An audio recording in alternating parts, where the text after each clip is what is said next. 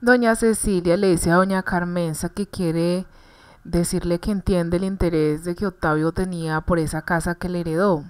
Y le dice que la reciba, que no piense que es un regalo, que ella no se puede involucrar en los deseos de Octavio, que ella entiende que hay muchas rencillas entre las familias, pero ella nunca pensó que eso fuera a pasar. Y que don Octavio pidió que todo sus deseos se cumplirán frente de toda su familia y que ella tiene que velar que eso sea así.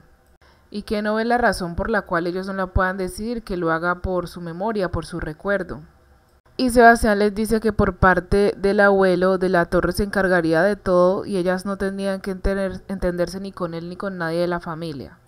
Doña Carmenza les dice que ella quiere pensarlo y conversarlo con eh, Gaviota porque pues el doctor de la torre les dijo que tenían tiempo.